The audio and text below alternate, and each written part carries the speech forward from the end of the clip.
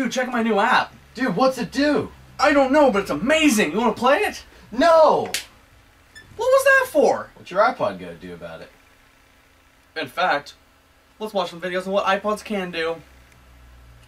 Yes, let's.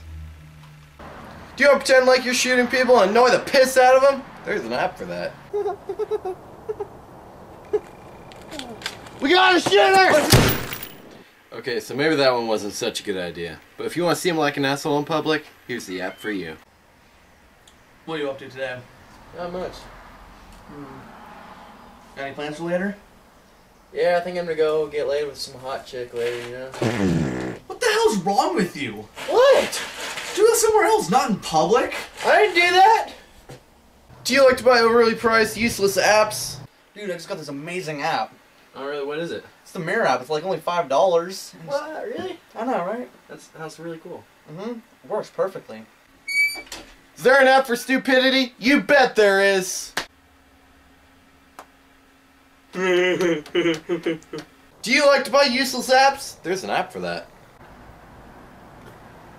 Oh, sweet, an app to find even stupider apps. Yes. You get hungry sometimes and just don't care where it comes from? There's an app for that.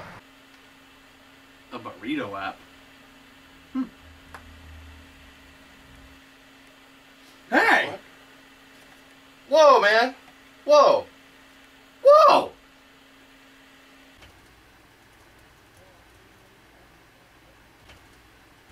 Sorry, I forgot you were there. Um, here's some bonus clips just to, you know, mix it up a little. Hello, Timmy. I baked you an iPod. Oh boy, what flavor? Apple. Ah!